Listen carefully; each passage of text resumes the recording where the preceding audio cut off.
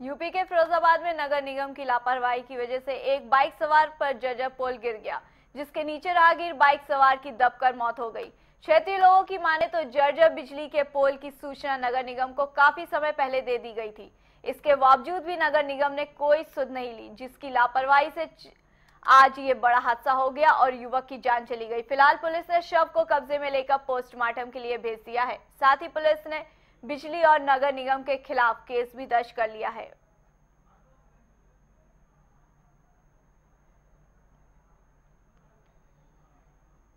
के अंतर्गत रामलीला चौराहा पड़ता है। वहाँ पर एक गैस सीवर टावर था।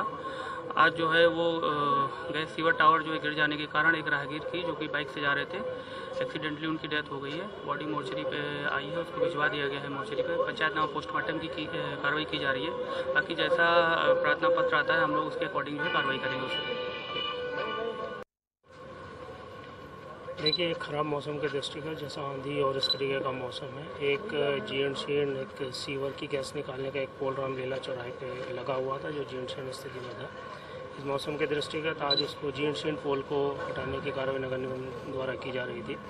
उसमें चारों तरफ़ से ट्रैफ़िक और सबको रोक के उसको पोल को गिराने की कार्रवाई की जा रही थी। उतने में अचानक से ये मृतक श्री सचिन पुत्रदेश शर्मा, महावीर नगर वहाँ अचानक से मोटरसाइकिल पे आ गए और वो पोल प्रयासों के बावजूद इनके ऊपर गिर पड़ा जिससे इनकी मृत्यु हो गई। इनको ट्रामा सेंटर लाया गया जहाँ पर उनको डॉक्टर्स ने उनको